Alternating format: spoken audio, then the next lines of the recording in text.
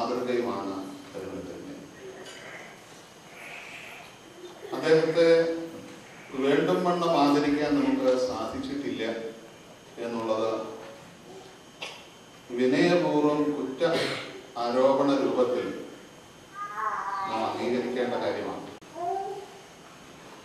അദ്ദേഹത്തെ നാം കാണുന്നത് മറ്റ് പല പരിശുദ്ധന്മാരെയും പോലെ തന്നെ നമ്മുടെ വ്യക്തിപരവും സ്വകാര്യവുമായ പ്രശ്നങ്ങളെ ദൈവസന്നദ്ധിയിൽ അവതരിപ്പിക്കുന്ന വ്യക്തി എന്ന നിലയിലാണ് തീർച്ചയായും അദ്ദേഹം ദൈവസന്നദ്ധിയിലെ ഉത്തമനായ മധ്യസ്ഥനാണ് പക്ഷെ ആ മധ്യസ്ഥത നമ്മുടെ പ്രശ്നങ്ങളുടെ വ്യക്തിപരമായ പ്രതിസന്ധികളുടെ ഒരു പരിഹാരത്തിന് വേണ്ടി മാത്രമുള്ള മധ്യസ്ഥനാണ് എന്ന് ചിന്തിക്കുമ്പോൾ അദ്ദേഹത്തോടുള്ള അനീതിയും അനാദരവും ആയിത്തീരുകയാണ്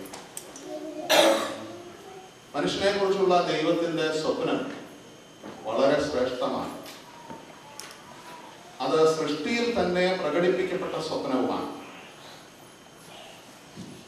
ദൈവം മനുഷ്യനെ ആക്കി വയ്ക്കുന്ന ആ തോട്ടത്തിലെ സാഹചര്യങ്ങൾ ശ്രദ്ധിച്ചാൽ ദൈവത്തിന് മനുഷ്യനെ കുറിച്ചുള്ള താല്പര്യം നമുക്ക് വ്യക്തമായി മനസ്സിലാക്കാൻ സാധിക്കും എത്രത്തോളം ശ്രദ്ധാപൂർവമാണ് തോട്ടത്തെ ഒരുക്കുന്നത് എന്നും എത്രത്തോളം കരുതലോടെയാണ് മനുഷ്യനെ സൃഷ്ടിക്കുന്നത് എന്നും നമുക്ക് ഉൽപ്പത്തി ഒന്ന് രണ്ട് അധ്യായങ്ങൾ വായിച്ചാൽ മനസ്സിലാക്കാം അതാത് തരം വൃക്ഷങ്ങളെയും പക്ഷികളെയും മൃഗജാലങ്ങളെയും സൃഷ്ടിക്കുന്ന ദൈവം വൈവിധ്യത്തിന്റെ മനോഹരമായ ഒരു അന്തരീക്ഷത്തെയാണ് മനുഷ്യന് വേണ്ടി ഉണ്ടാക്കി വയ്ക്കുന്നത് അതുപോലെ തന്നെ മനുഷ്യന്റെ സൃഷ്ടിയിൽ തന്റെ സ്വരൂപവും സാദൃശ്യവും അവനിൽ പങ്കിടുകയും തന്റെ ജീവശ്വാസം അവനിൽ ഊതുകയും ചെയ്തുകൊണ്ട് തന്നെ പോലെ തന്നോടൊപ്പം വളർന്നു വലുതാകാനുള്ള സാധ്യതയോടുകൂടെയാണ് സൃഷ്ടിക്കുന്നത്. നമ്മുടെ പിതാക്കന്മാർ വളരെ മനോഹരമായി അതിനെക്കുറിച്ച് പറയും ദൈവം മനുഷ്യനായി മനുഷ്യരെ ദൈവത്തെ പോലെയാക്കുക.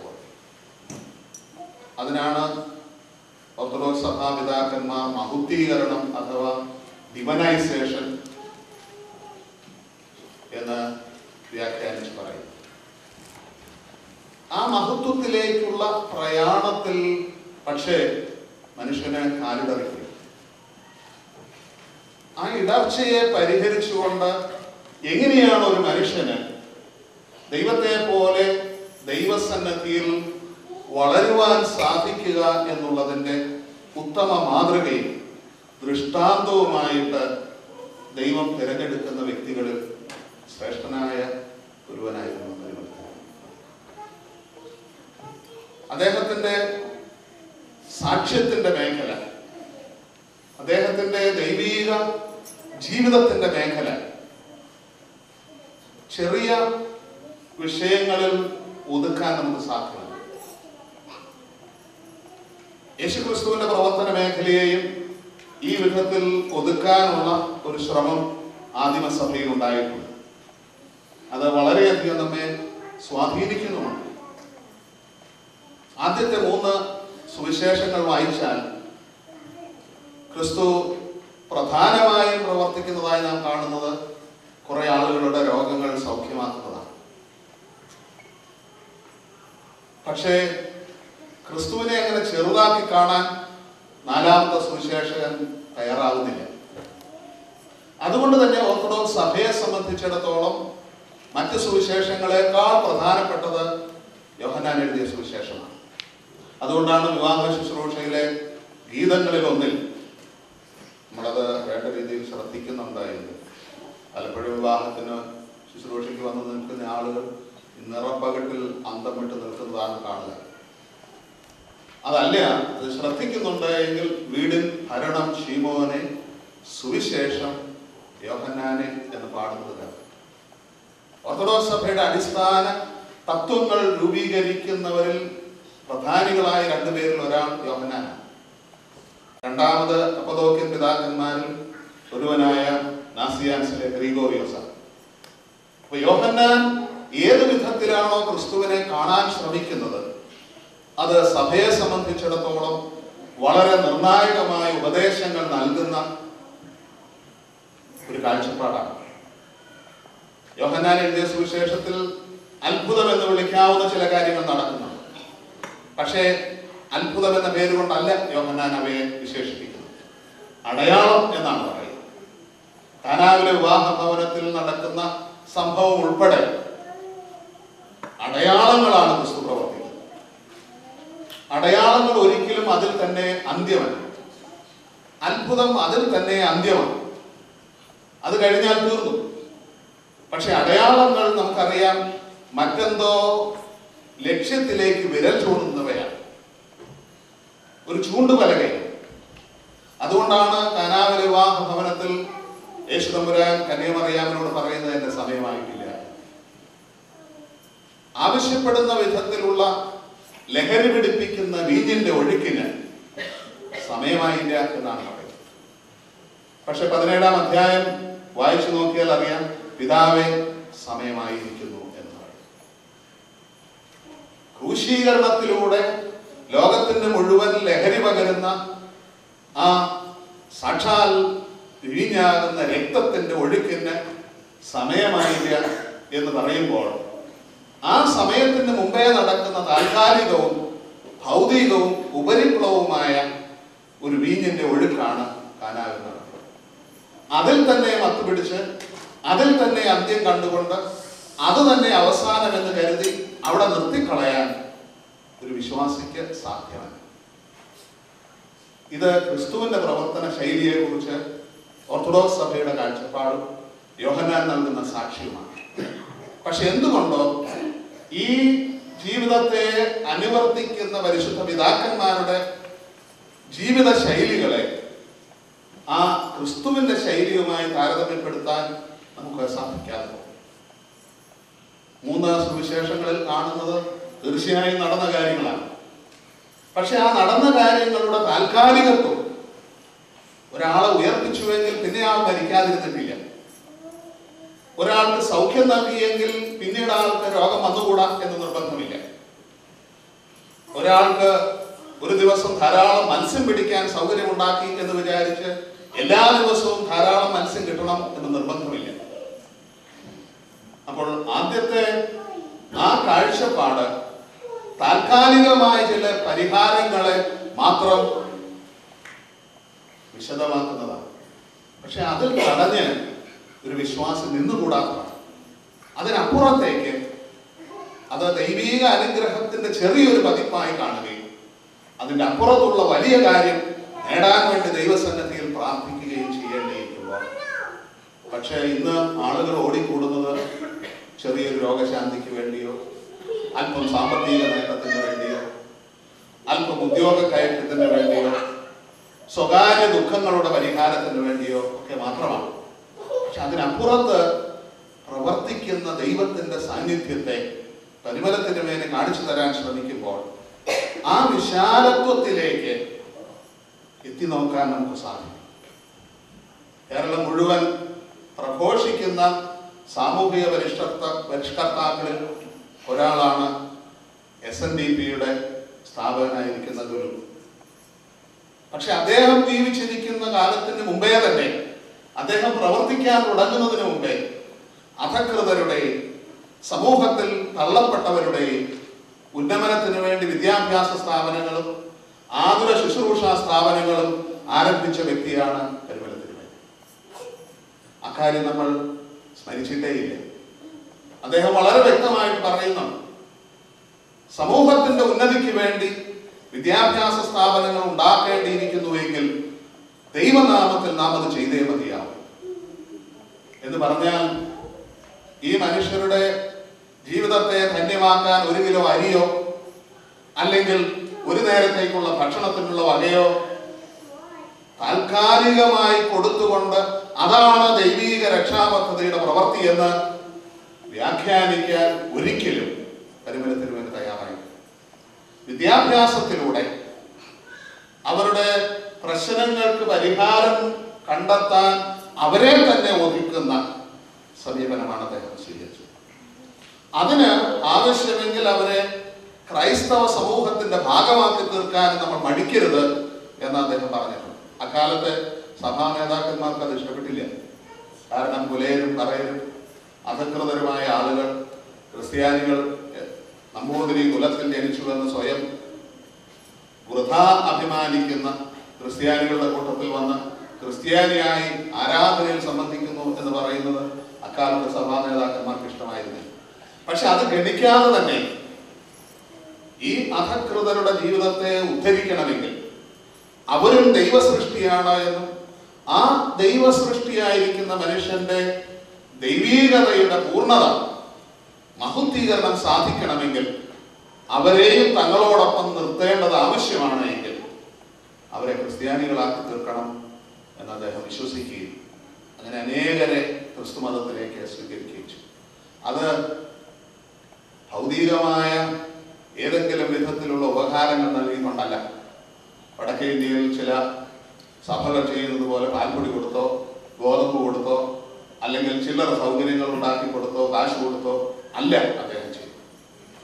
മറിച്ച് അവർക്ക് അന്ന് സമൂഹത്തിൽ ഉന്നത സ്ഥാനം വഹിച്ചിരുന്ന ക്രിസ്ത്യാനികളോടൊപ്പം സ്ഥാനം നേടുന്നതിന് വേണ്ടി അവരെ ക്രിസ്ത്യാനികളാക്കി. തീർത്തു. സഭയിൽ സംഖ്യ വർദ്ധിപ്പിക്കാനല്ല. അതോടൊപ്പം അദ്ദേഹം അവരെയും കൂടെ ചേർത്തുകൊണ്ടൊരു സമൂഹത്തെ കെട്ടിപ്പടുക്കുവാൻ ശ്രമിച്ചിട്ടുണ്ട്. അതിന് ഉതകത്തക്ക വിധത്തിലാണ് കുന്നംകുളത്തും തിരുവല്ലായിലും പരിമലയിൽ നിരണത്തും എല്ലാം അദ്ദേഹം പള്ളിക്കൂടങ്ങൾ സ്ഥാപിച്ചു. അവർക്ക് വിദ്യാഭ്യാസം കിട്ടാൻ വേണ്ടിയില്ല. മറ്റ് പാഠശാലകളിൽ അധകൃതരായ ആളുകൾക്ക് പഠിക്കാൻ സൗകര്യം ഉണ്ടായിരുന്നില്ല. പക്ഷേ അദ്ദേഹം പറഞ്ഞു ഇവരും ദൈവസൃഷ്ടിയാണ്. അവിടെ ദൈവസൃഷ്ടിയുടെ ഉന്നമനത്തിന് വേണ്ടി പ്രവർത്തിക്കുക എന്നുള്ളത് മൊത്തത്തിലുള്ള സമൂഹത്തിന്റെ വളർച്ചയുടെ വിഷയമാണ് എന്ന് കണ്ട ഒരു സാമൂഹിക പരിഷ്കർത്താവാണ് അങ്ങനെ പരിഷ്കാരം സംഭവിക്കുമ്പോൾ ഒരുപക്ഷെ നമ്മുടെ രോഗങ്ങൾ ഇല്ലാതെയാണ് അതിന് പ്രത്യേക പ്രാർത്ഥനയുടെ ആവശ്യം വരില്ല. പല രോഗങ്ങളും ഉണ്ടാകുന്നത് മനുഷ്യന്റെ സാമൂഹിക അവസ്ഥ കൊണ്ടാണ്. പല തിന്മകളും ഉണ്ടാകുന്നത് മനുഷ്യന്റെ സാമൂഹിക അവസ്ഥ കൊണ്ടാണ്. ചില ആളുകൾ പിടിച്ചുപറിക്കാരും അക്രമികളുമായി തീരാൻ അവരുടെ ജീവിത സാഹചര്യങ്ങൾ കാരണമായി തീരാൻ. ഒരു കാലത്ത് ലൂസിയാനയിലെ ആളുകളെ എല്ലാം തിന്മ പ്രവർത്തിക്കുന്നവർ എന്ന് പറഞ്ഞാൽ തള്ളിക്കളഞ്ഞിരുന്ന ഒരു സമൂഹമുണ്ട് ഇവിടെ. കത്രീന വന്ന് അവരെല്ലാം മരിച്ചപ്പോൾ അത് നന്നായി എന്ന് പറഞ്ഞ ആളുകളോ? പക്ഷെ എന്തുകൊണ്ട് അവർ ആ വിധ പ്രവർത്തികളിൽ ഏർപ്പെട്ടു എന്ന് ചിന്തിക്കാൻ പലപ്പോഴും ആളുകൾ തയ്യാറാകുന്നു ജീവിക്കാൻ മാർഗമില്ലാതെ വരുമ്പോൾ അന്തിക്കുള്ള അത്താഴത്തിന് മാർഗമില്ലാതെ വരുമ്പോൾ ശരിയല്ല എങ്കിൽ പോലും തെറ്റ് ചെയ്യാൻ ചിലപ്പോൾ ആളുകൾ പ്രേരിതരാകും.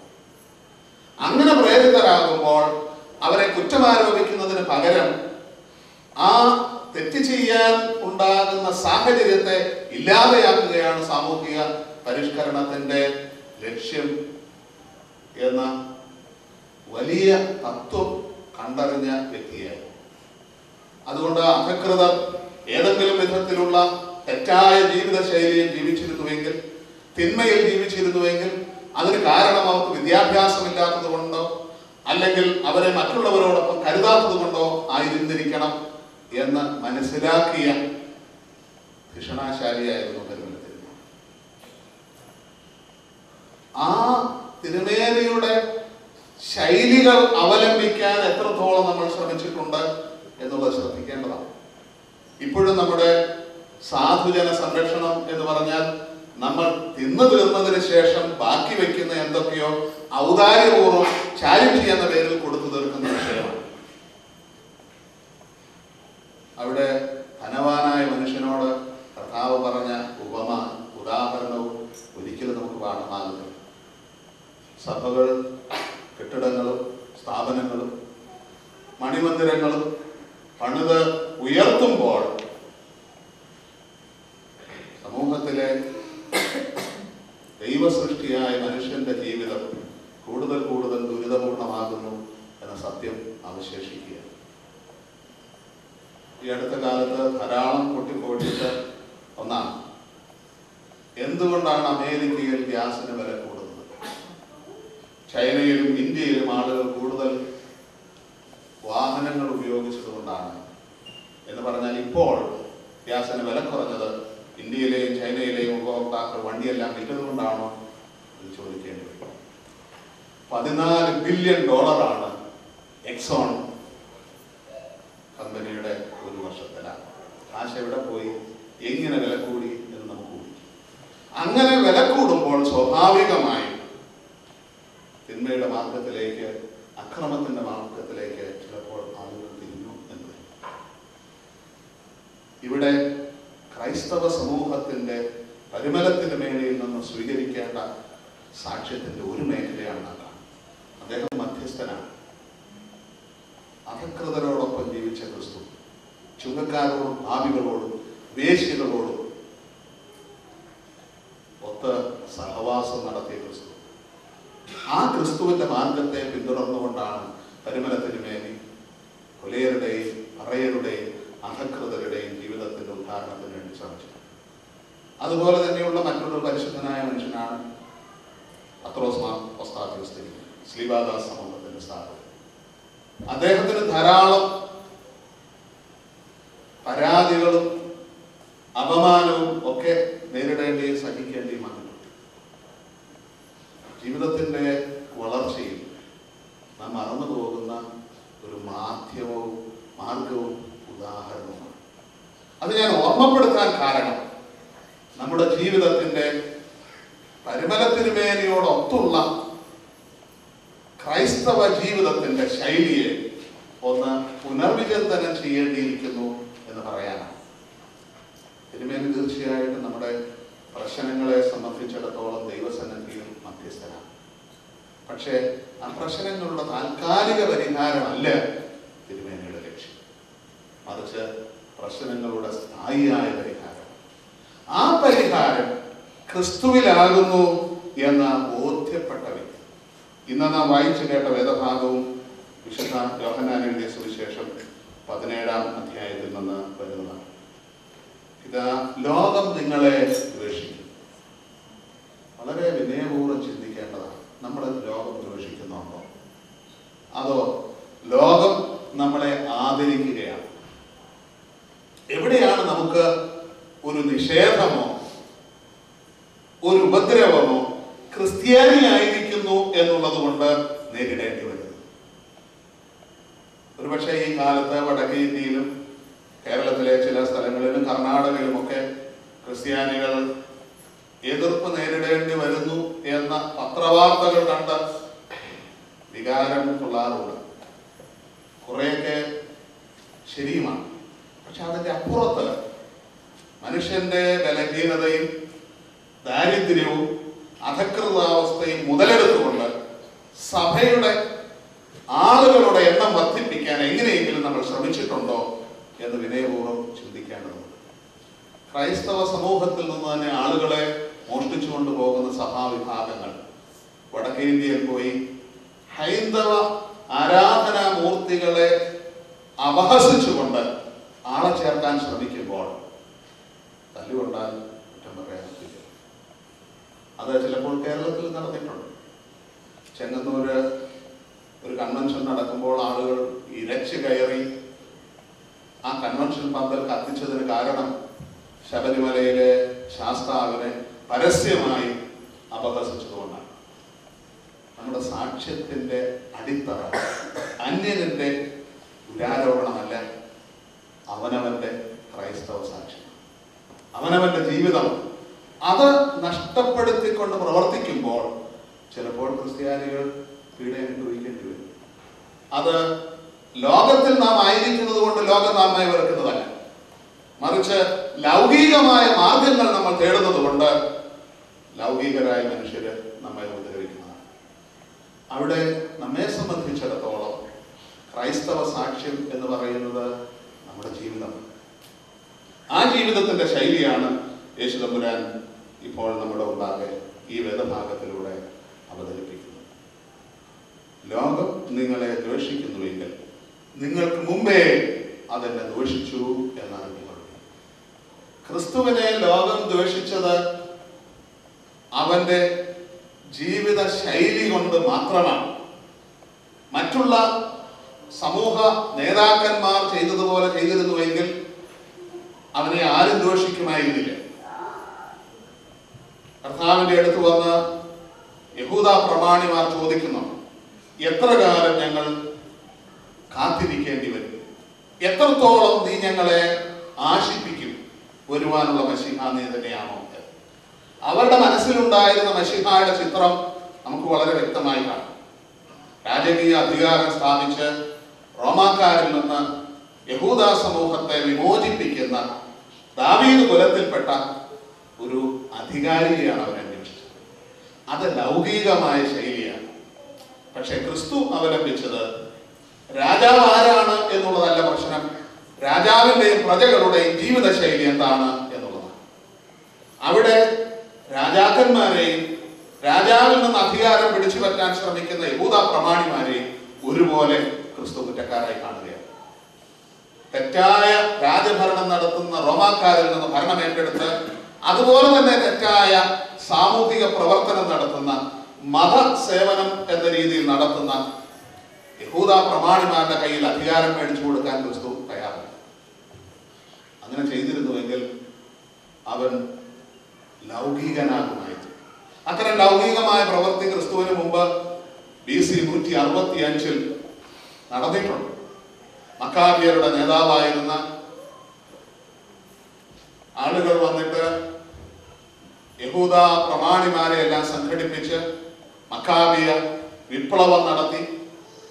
അന്ത്യോക്യസ് എപ്പിഫാനസ് എന്ന് പറയുന്ന അധികാരിയെ തകിടം മറിച്ച് ഒരു ഹസമോണിയൻ സാമ്രാജ്യം സ്ഥാപിക്കുകയും ഏതാനും മാസങ്ങൾ ഭരിക്കുകയും ചെയ്തു യഹൂദന്മാർക്ക് സ്വാതന്ത്ര്യം കിട്ടി എന്ന് അവർ മോഹിച്ചു.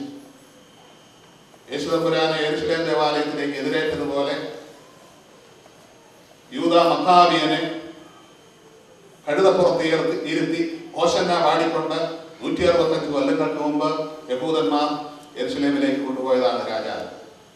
പക്ഷേ മാസങ്ങൾ മാത്രമേ അധികാരം അത്തരമൊരു ലൗകിക അധികാരം സ്ഥാപിക്കാനല്ല മറിച്ച് മനുഷ്യനെ സമ്പൂർണമായി പരിവർത്തനപ്പെടുത്തിക്കൊണ്ട് ദൈവീകരാക്കി തീർക്കുവാനാണ്. അതുകൊണ്ട് ക്രിസ്തു പറഞ്ഞു പിതാവെ ഞാൻ ഇവരെ ലോകത്തിൽ നിന്ന് എടുക്കണമെന്നല്ല. ദുഷ്ടനെ ജയിക്കാൻ ഇവരെ ശക്തീകരിക്കാൻ. ലൗകികതയുടെ അമിതമായ സ്വാധീനത്തിൽ നിന്ന് നമ്മെ രക്ഷിക്കാനാണ് ക്രിസ്തു മനുഷ്യാവതാരം പലപ്പോഴും നമ്മൾ വളരെ ഉപരിപ്ലവമായ ശൈലിയിലാണ് ക്രിസ്തുവിന്റെ മനുഷ്യാവതാരത്തെ വ്യാഖ്യാനിക്കാറ് നമ്മുടെ രോഗശാന്തിക്ക് വേണ്ടിയോ നമ്മുടെ ചില പ്രത്യേക നേട്ടങ്ങൾക്ക് വേണ്ടിയോ അടുത്ത കാലത്തൊരു പാട്ട് ഇറങ്ങിയിട്ടുണ്ട്. ഏതോ ബന്ധപ്പുസ്തകം ഇറങ്ങിയത് നമ്മളെല്ലാം. നല്ല ട്യൂണായതുകൊണ്ട് ഏറ്റെടുത്ത് പാടിക്കൊണ്ട് നടക്കുന്നുണ്ട്. ക്രിസ്തു വന്നതുകൊണ്ട് എന്റെ ഭാര്യയ്ക്ക് ജോലി കിട്ടി. മക്കൾക്ക് നല്ല വിദ്യാഭ്യാസം ഉണ്ടായി. ധാരാളം കാശുണ്ടായി വീട് പണിതു എന്നൊക്കെ പറഞ്ഞ ഒരു പാട്ട്. അതല്ല ക്രിസ്തുവിന്റെ രക്ഷയുടെ ശൈലി. ഇതൊന്നും ഉണ്ടാകണ്ട എന്നല്ല അർത്ഥത്തിലല്ല ഞാൻ പറഞ്ഞു പക്ഷെ ഇതെല്ലാം ഉണ്ടായിട്ടും ഉണ്ടാകേണ്ടത് ജീവിത പരിവർത്തനം ഉണ്ടാകുന്നില്ല എങ്കിൽ എന്തുണ്ടായാൽ എന്താണ് പ്രയോജനം? അവിടെയാണ് ക്രിസ്ത്യാനികൾ പരാജയപ്പെട്ടു പോയത്. അങ്ങേ ലോകത്തേക്ക് കുറിച്ച് പ്രസംഗിക്കുകയും പക്ഷെ ഇങ്ങേ ലോകത്ത് കഴിയുന്നിടത്തോളം സ്വത്ത് വാരിക്കൂട്ടാൻ അത്യാർത്ഥി കാണിക്കുകയും ചെയ്യുമ്പോൾ നാം ലൗകികരായിരിക്കുകയാണ് അവിടെയാണ് പരിമലത്തിന് വേണ്ടി നമുക്ക് മാർഗനിർദ്ദേശമാണ് ഇന്ന് പരിമലയിൽ വരുമാനം പക്ഷെ പട്ടിണി കിടന്ന ഒരു മനുഷ്യനായിരുന്നു പരിമല തിരുമല. അദ്ദേഹം അന്ന് കോടികൾ ഉണ്ടാക്കാൻ ശ്രമിച്ചിരുന്നുവെങ്കിൽ ഇന്ന് ആ കോടികൾ ഉണ്ടാകുമായിരുന്നില്ല. കാരണം ആരും അങ്ങനെ നോക്കില്ല അദ്ദേഹത്തിന്റെ ശൈലി ആ കോടികൾ ഉണ്ടാക്കാനുള്ള ലൗകിക ശൈലിയായി തീരുകയും. അതുകൊണ്ട് തന്നെ ആ വഴിക്ക് ഇനി പോകേണ്ടതില്ല എന്ന് ആളുകൾ തീരുമാനിക്കുകയും ചെയ്യുമായിരുന്നു. അദ്ദേഹം ലൗകികനായിരുന്നു. അതുകൊണ്ട് തന്നെ ഏറെക്കാലം ഈ ലോകത്ത് ജീവിക്കാൻ സാധിച്ചിട്ടുണ്ട്. പക്ഷെ എത്ര കാലം ജീവിച്ചു എന്നുള്ളതല്ല പ്രശ്നം. എങ്ങനെ ജീവിച്ചു എന്നുള്ളതാണ് പ്രശ്നം. പലപ്പോഴും നമ്മൾ ആളുകളെ ആദരിക്കുന്നത് എത്ര മുഴുത്ത കസേരയിൽ ഇരിക്കുന്നു എത്രത്തോളം വിദ്യാഭ്യാസമുണ്ട് എത്രത്തോളം ശമ്പളം കിട്ടുന്നുണ്ട് ഏത് കുടുംബത്തിൽ ജനിച്ചു തുടങ്ങിയ ചോദ്യങ്ങളൊക്കെ കൊണ്ടാണ് അത് എപ്പോഴും നേരെ ചൊവ്വേ കാര്യങ്ങൾ നടക്കുന്നു എന്നുള്ളതിന്റെ ഉറപ്പല്ല ഇന്ന് എനിക്കറിയാവുന്ന ഈ ര- ഈ സംസ്ഥാനത്ത് തന്നെയുള്ള ഒരു മാന്യനായ വ്യക്തിയെ കുറിച്ച് പറഞ്ഞപ്പോൾ അച്ഛൻ പറഞ്ഞു അറിയാമോ ഏതാനും ദിവസങ്ങൾക്ക് മുമ്പ് അദ്ദേഹത്തിന്റെ മകൻ തന്റെ മുൻ കാമുകയെ കാമുകയെ നൂറ് വെട്ടുവെട്ടി പരിക്കേൽപ്പിച്ചതിന് പോലീസ് പിടിയിലാണ്. വളരെ മാന്യമായ കുടുംബത്തിലെ ഒരു പക്ഷെ അതുകൊണ്ട് ലൗകികരല്ല എന്ന അവസ്ഥ വരുന്നില്ല. പറയാൻ ഉദ്ദേശിച്ചത് ലോകത്തിലായിരിക്കുമ്പോൾ തന്നെ ലോകത്തിന്റെ മുഴുകലിൽ അകപ്പെട്ടു പോകാനല്ല ദൈവം ഏകജാതനിലൂടെ നമ്മെ കുറിച്ച് ഉദ്ദേശിച്ചത് ഒന്ന്. അത് തന്നെയാണ് പരിമലത്തിന് മേലിൽ തന്റെ ജീവിതത്തിലൂടെ നമുക്ക് കാണിച്ചു തരാൻ ശ്രമിച്ചത്. തീർച്ചയായും ലോകം നമ്മെ കൊതിപ്പിക്കുന്ന ധാരാളം കാര്യങ്ങൾ അവതരിപ്പിക്കാം പക്ഷേ അതെല്ലാം നമുക്ക് വിഹിതമാണോ എന്ന് അന്വേഷിക്കേണ്ടി ഇന്ന് ഇവിടെ അവതരിപ്പിച്ച ഒരു കവിത അത് കവിതയാണോ എന്ന കാര്യത്തിൽ കൃത്യമായ ഉറപ്പില്ല. അതൊരു നാടൻ പാട്ടാണ്. അതിൽ മാർത്തയുടെ പ്രശ്നത്തെക്കുറിച്ച്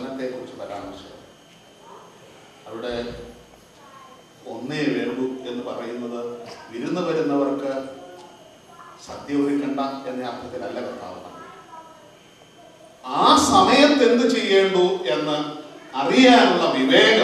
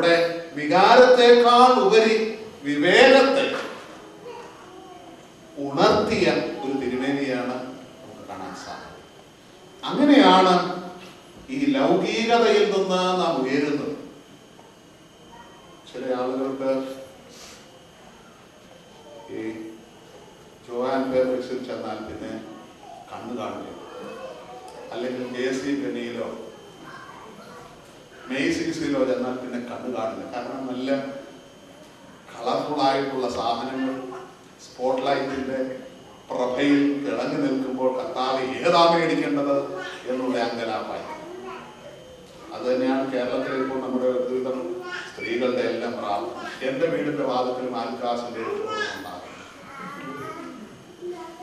സകല ടെലിവിഷൻ സീരിയലുകളും ഈ റിയാലിറ്റി ഷോ എന്ന് തെറ്റായി പറയുന്ന പാട്ട് കച്ചേരികളിൽ എല്ലാം സ്പോൺസർ ചെയ്യുന്നത് ഈ സ്വർണക്കടക്കാരാണ്. അവർ പറയുന്നത് ഇതെല്ലാം വളരെ ആദായത്തിലാണ് നമുക്ക് തരുന്നത്. പക്ഷേ ഈ ആദായത്തിലാണ് നമുക്ക് തരുന്നത് എങ്കിൽ ഈ പരസ്യങ്ങൾ കൊടുക്കാനുള്ള കാശ് എവിടെ നിന്നുണ്ടാകുന്നു എന്ന വളരെ ലളിതമായ ചോദ്യം പലപ്പോഴും നമ്മൾ ഉന്നയിക്കാം അവിടെ ഈ ലോകത്തിന്റെ പ്രഭയിൽ നാം നമ്മെ തന്നെ മറന്നു. ആഭരണങ്ങൾ തെറ്റാണ് എന്ന് സഭ പഠിപ്പിക്കുന്നില്ല വസ്ത്രങ്ങൾ തെറ്റാണ് എന്ന് സഭ പഠിപ്പിക്കുന്നില്ല. ധനശേഖരവും സമ്പാദ്യവും തെറ്റാണ് എന്ന് സഭ പഠിപ്പിക്കുന്നു പക്ഷെ എന്ത് മാർഗത്തിലൂടെയും അതുണ്ടാക്കുന്നതാണ് ശരി എന്ന് പറയുമ്പോൾ കർത്താവിന്റെ മൂന്ന് പരീക്ഷണങ്ങൾ നമുക്ക് നിർദ്ദേശമായി നിൽക്കുകയാണ് ഏത് മാർഗത്തിലൂടെയും അപ്പം കണ്ടെത്താൻ തന്റെ ശക്തി മുഴുവൻ ഉപയോഗിച്ച് തന്റെ അത്താഴത്തിന് മാർഗമുണ്ടാക്കുകയാണ് വേണ്ടത് എന്ന് ഉപദേശിക്കുന്ന ഉപദേശത്തെ പിശാചിന്റെ ഉപദേശം എന്നാണ് കർത്താവ് പറയുന്നത്. അതേസമയം തന്നെ തന്റെ ശക്തി ഉപയോഗിച്ച് താൻ ഭക്ഷണം ഉണ്ടാക്കിയിട്ടുണ്ട്. അത് അന്യന്റെ പട്ടിണി മാറ്റാണ്. അനേകായിരം വരുന്ന പുരുഷന്മാർ തന്നെ അയ്യായിരം ഉണ്ടായിരുന്നു എന്നാണ്. കർത്താവിന്റെ പിന്നാലെ നടന്നത് കൂടുതൽ പുരുഷന്മാരല്ല. അപ്പോൾ അതിന്റെ പതിന്മടങ്ങ് ജനസമൂഹമുള്ള ജനസമൂഹത്തെ തീറ്റിപ്പോറ്റാൻ തന്റെ ശക്തി ഭക്ഷണം ഉണ്ടാക്കാൻ ഉപയോഗിച്ചു. പക്ഷെ തന്റെ വയറിന് വേണ്ടി ഭക്ഷണം ഉണ്ടാക്കാൻ ശ്രമിക്കുമ്പോൾ അവൻ ലൗകികനായി തീരുകയാണ് നമ്മുടെ നെട്ടോട്ടം ആർക്ക് ഭക്ഷണം ഉണ്ടാക്കാനാണ് അന്വേഷിക്കുക? നമുക്ക് ഭക്ഷിക്കണം. പക്ഷേ അതില്ലാതെ വന്നാൽ ഭ്രാന്ത് പിടിക്കുന്ന അവസ്ഥയിലേക്ക് നമ്മൾ അർപ്പതിക്കുമ്പോൾ അവിടെയാണ് നാം ലൗകികരായിത്തീരുന്നത് പത്രോസ് തല ചൊറിഞ്ഞുകൊണ്ട് കരം കൊടുക്കാൻ വശമില്ലാതെ കർത്താവിന്റെ മുമ്പിൽ വന്ന് നിൽക്കുന്ന ഒരു ചിത്രം. അത്ഭുതങ്ങൾ പ്രവർത്തിച്ച കർത്താവിന് മുതുകാട് ചെയ്യുന്നത് പോലെ ആകാശത്ത് നിന്ന് കൈവിരൽ നൊടിച്ച് കാശുണ്ടാക്കി പത്രോസിനെ ഏൽപ്പിക്കാവുന്നതാണ്. പക്ഷെ അവൻ പറഞ്ഞത് ഒരു ചൂണ്ടയിട്ട് മീൻ പിടിക്കണം. പിടിക്കുന്ന മീനിന്റെ വായിൽ പണം ഉണ്ടാവും വായിൽ പണമില്ലെങ്കിലും പിടിച്ച നീന്ത വിട്ടാൽ കാശാണ് പക്ഷേ പത്രോസിന് ഒരു കാര്യം കൂടെ ഓർമ്മപ്പെടുത്തി. നീ വിളിക്കുന്ന മീനിന്റെ കാശ് കൊണ്ട് മാത്രമല്ല നീ ജീവിക്കുന്നത്. മീൻ പിടിക്കാനുള്ള ആരോഗ്യം പിടിച്ച മീനിന് വില കിട്ടുന്ന അവസ്ഥയും ഉണ്ടാക്കുന്നത് ഞാനാണ്. അതുകൊണ്ട് അതിന്റെ വായിൽ പണമുണ്ട് നമ്മുടെ അധ്വാനം. അധ്വാനിക്കാൻ തയ്യാറായിട്ടാണ് ഈ നാട്ടിൽ വന്നത്. അല്ലാത്തവരെല്ലാം തിരിച്ചു പോയി. പക്ഷെ ഈ അധ്വാനം എന്തിനു വേണ്ടിയാണ്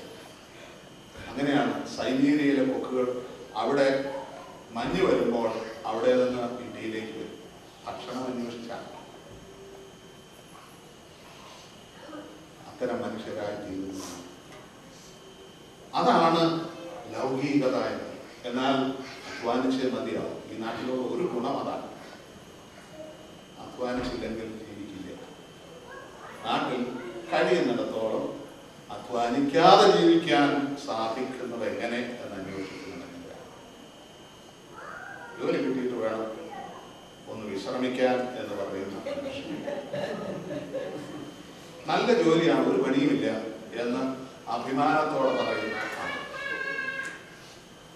പണിയെടുത്ത് ജീവിക്കുമ്പോൾ അത് ലൗകികമല്ല ദൈവികമാണ് പക്ഷേ പണിയെടുക്കുന്നത് മുഴുവൻ ജീവിക്കാൻ വേണ്ടി മാത്രമാണ് എന്ന് വരുമ്പോൾ അത് ലൗകികം കർത്താവ് പറഞ്ഞു പിതാവേ ഇവർ ലൗകികരാകരുത് എന്നാണ് എന്റെ പ്രാർത്ഥന ആ മാർഗം നമുക്ക് കാണിച്ചു തന്ന തിരുവേനയാണ് എത്ര വർഷം അദ്ദേഹം ജീവിച്ചിരുന്നു എന്നുള്ള പ്രശ്നമാണ് എത്രത്തോളം നമ്മുടെ മനസ്സുകളിൽ ജീവിക്കുന്നു എന്നുള്ളതാണ് പ്രശ്നം നൂറ്റാണ്ടുകൾ കഴിഞ്ഞാലും നമ്മുടെ മനസ്സുകളിൽ നിന്ന് അദ്ദേഹം മാറ്റിപ്പോയില്ല അദ്ദേഹം ജീവിക്കുകയാണ് ചിത്രങ്ങളില്ലാതെയാവട്ടെ രൂപങ്ങളില്ലാതെയാവട്ടെ പക്ഷെ അദ്ദേഹം നമ്മുടെ മനസ്സിൽ സജീവനായി കാരണം അദ്ദേഹം നൂറ്റിയൊന്ന് വർഷം ജീവിച്ച് ഗിന്നസ് ബുക്കിലാണ് സ്ഥാനം നേടിയതുകൊണ്ടല്ല വെറും അഞ്ച് പതിറ്റാണ്ട് മാത്രം ജീവിച്ച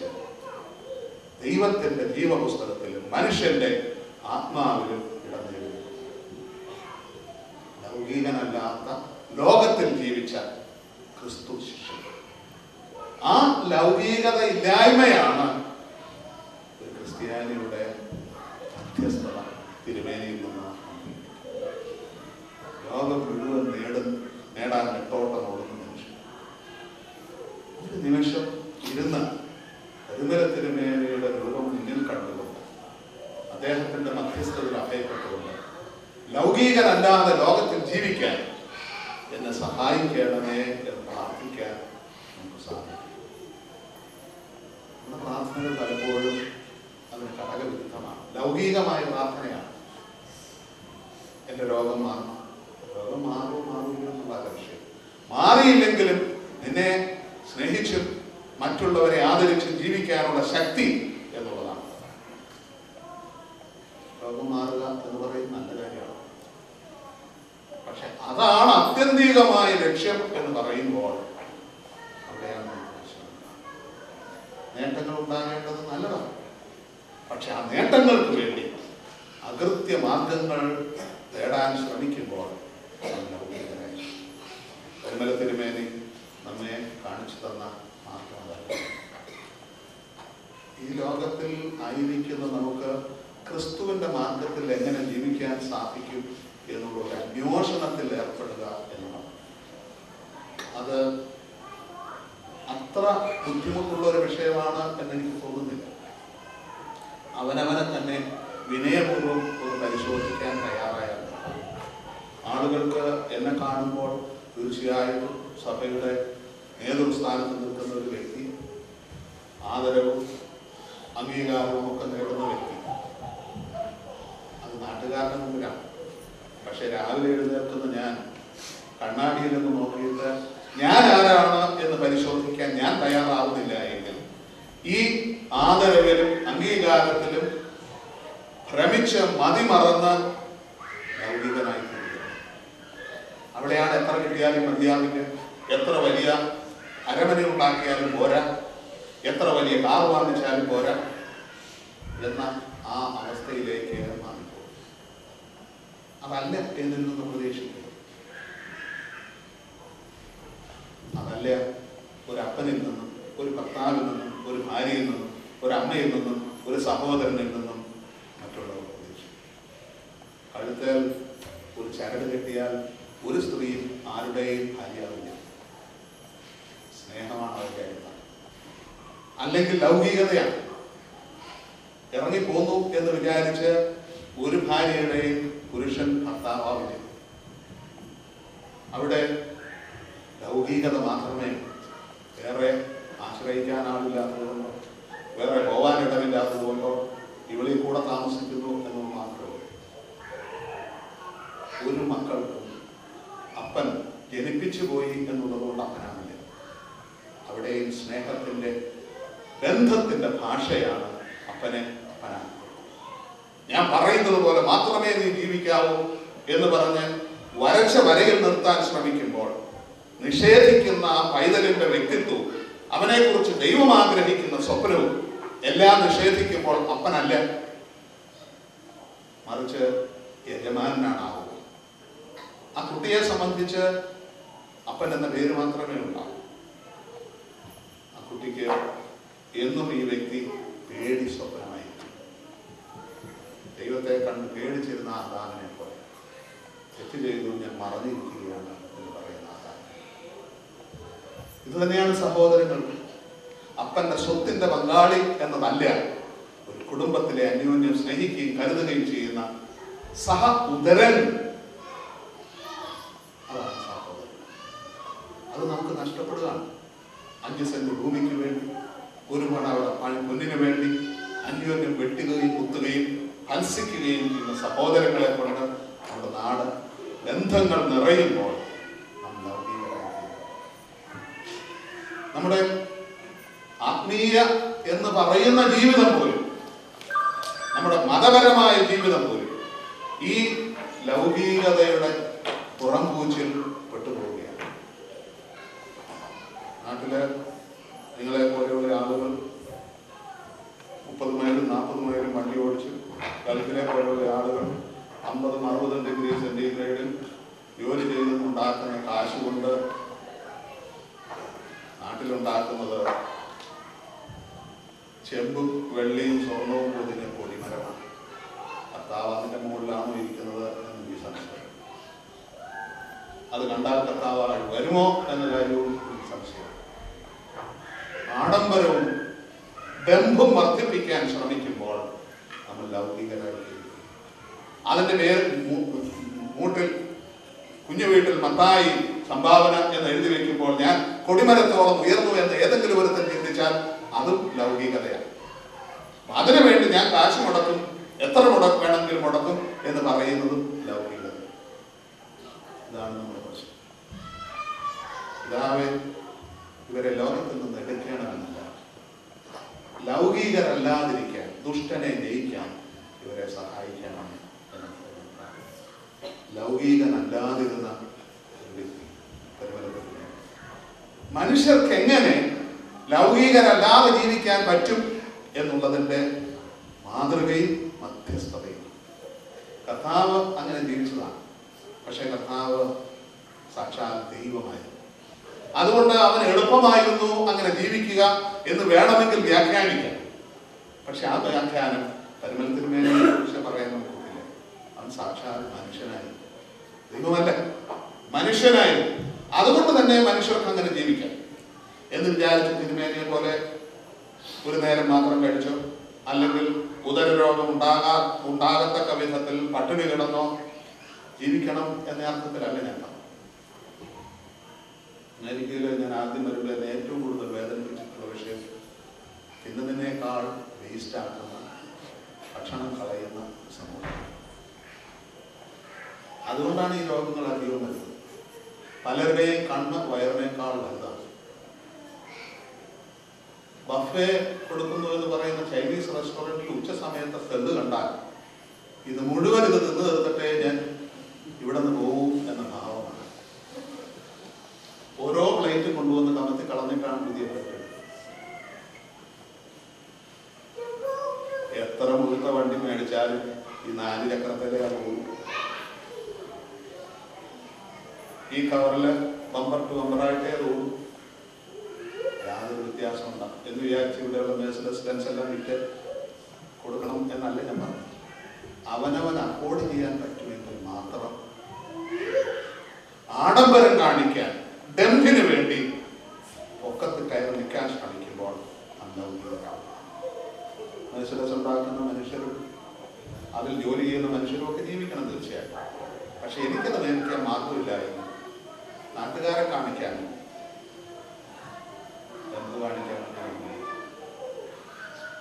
ധാരാളം ആളുകൾ വീട്ടിൽ നാട്ടിൽ വീട് പണ്ട് പതിനാറ് മുറിയും കാത്തറ്റാശവും മാർഗവും ഒക്കെയായി വയസ്സായ അപ്പച്ചനും അമ്മച്ചിക്കും വെള്ളം വീണ് തെന്നി വീഴാം എന്നുള്ളതിൽ കവിഞ്ഞ് നമുക്കതിൽ താമസിക്കാൻ ഭാഗ്യം മിക്കവാറും ഉണ്ടാകും കാരണം ഇരുപത് ദിവസമാണ് ഇവിടുന്ന് ലീവ് കിട്ടി പോകുന്നത് അപ്പാപ്പന്റെ കൂടി അമ്മമ്മയുടെ വീടുകളിൽ പോയി തിരിച്ചു വരുമ്പോൾ പിന്നെ വണ്ടിക്ക് പെട്ടി കെട്ടാൻ വീണ്ടും സമയമായിട്ടുണ്ടാവും എങ്കിലും നമ്മൾ പണിത് സ്വപ്നങ്ങളാണ് ആ സ്വപ്നങ്ങൾ എനിക്ക് യോജിച്ചതാണ് എന്ന് ചിന്തിക്കുന്നത് നല്ലതാണ്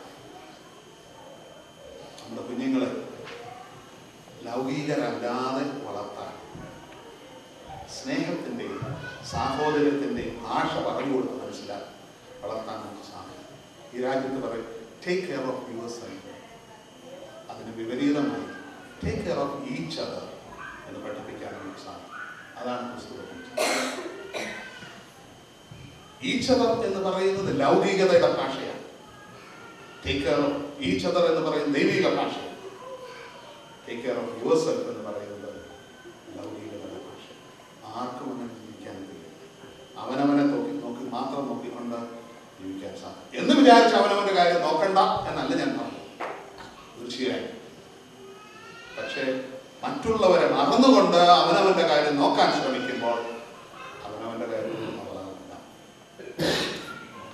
പരിമലത്തിന് വേണ്ടി ജീവിച്ച അതേ ശൈലിയിൽ അതേ ദാരിദ്ര്യത്തിൽ ജീവിക്കണം എന്നല്ല ഞാൻ മറിച്ച് അദ്ദേഹം ഒരു മാതൃകയാണ് അങ്ങനെയും മനുഷ്യർക്ക് ജീവിക്കാൻ പറ്റും അങ്ങനെ ജീവിക്കുന്ന ആളുകളും മരിച്ചാലും ജീവിക്കും എന്ന് നമ്മെ ഓർമ്മപ്പെടുത്തുക അതുകൊണ്ട് പരിമലത്തിന് മേലെ പെരുന്നാൾ അത്രയും ശ്രേഷ്ഠമാണ് നമ്മുടെ കാലഘട്ടത്തിൽ ജീവിച്ചിരുന്ന ഒരു വ്യക്തി നമ്മുടെ അയൽവക്കത്ത് ജീവിച്ചിരുന്ന ഒരു വ്യക്തി നമ്മുടെ അയൽവക്കത്ത് ജനിച്ചു വളർന്ന ഒരു വ്യക്തി നമ്മിൽപ്പെട്ട ഒരു വ്യക്തി അദ്ദേഹത്തിനാകാൻ സാധിക്കുമെങ്കിൽ അദ്ദേഹത്തിന്റെ മക്കളാകാൻ നമുക്ക് സാധിക്കും അത് എങ്ങനെ എന്ന് അന്വേഷിച്ച് കണ്ടെത്തേണ്ടത് ഓരോ വ്യക്തിയുടെയും ഓരോ കുടുംബത്തിന്റെയും ഉത്തരവാദിത്വം ആ ഉത്തരവാദിത്വമാണ് ഈ പെരുന്നാൾ നമ്മെ ഏൽപ്പിക്കുന്നത്. ലൗകികരല്ലാതെ ലോകത്തിൽ എങ്ങനെ ജീവിക്കാൻ ആത്മാഭിമാനത്തോടെ അന്തസ്സോടെ തല ഉയർത്തിപ്പിടിച്ച് ജീവിക്കാം.